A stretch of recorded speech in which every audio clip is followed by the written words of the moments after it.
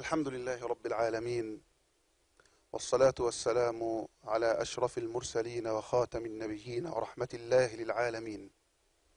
وبعد فيا أيها المشاهد الكريم أسأل الله تبارك وتعالى أن يبارك حياتك وأوقاتك.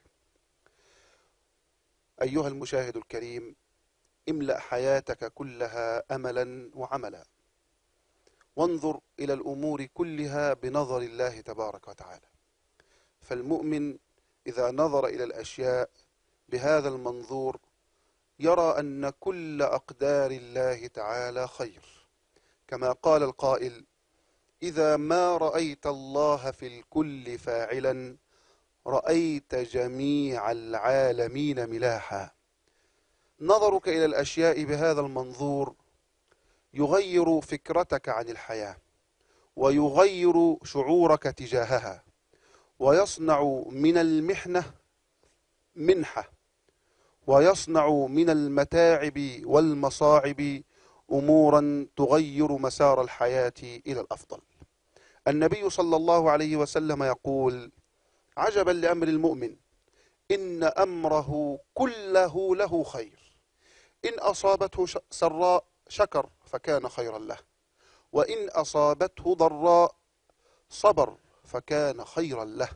فكل ما يعتري المسلم من أحوال إذا نظر إليه بهذا المنظور يكون خيرا في الدنيا وفي الآخرة.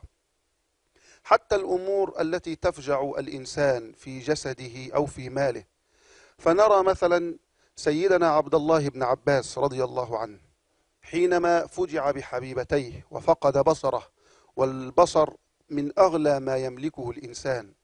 ماذا فعل سيدنا عبد الله بن عباس؟ إنه لم ينطوي على نفسه ليندب حظه العاثر وإنما قال إن يأخذ الله من عيني نورهما ففي لساني وسمعي منهما نور.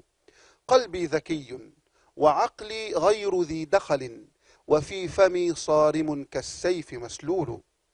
وعندما عير بعض الناس بشار بن برد بفقدان بصره قال وعيرني الأعداء والعيب فيهم فليس بعار أن يقال ضرير.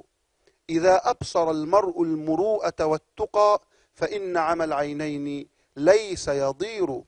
رأيت العمى أجرا وذخرا وحكمة وإني إلى تلك الثلاث فقير. فلما نظروا إلى الأشياء بمنظور أن كل ما يقدره الله خير انقلبت المحنة إلى منحة وسعدوا بعطاء الله تبارك وتعالى نسأل الله عز وجل أن يوفقنا وإياكم إلى ما يحبه ويرضاه. والسلام عليكم ورحمة الله وبركاته.